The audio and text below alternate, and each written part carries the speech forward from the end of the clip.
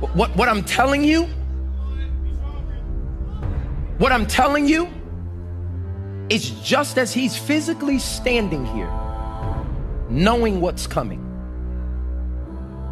God's saying, Can you physically and spiritually and emotionally be able to stand?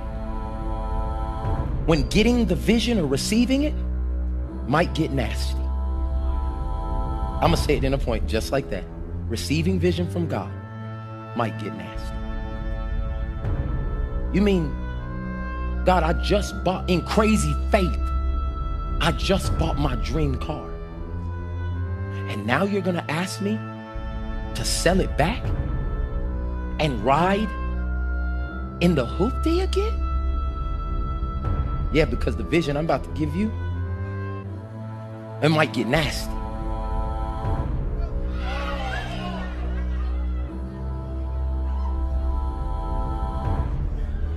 And do you do you hear and see the responses of the people?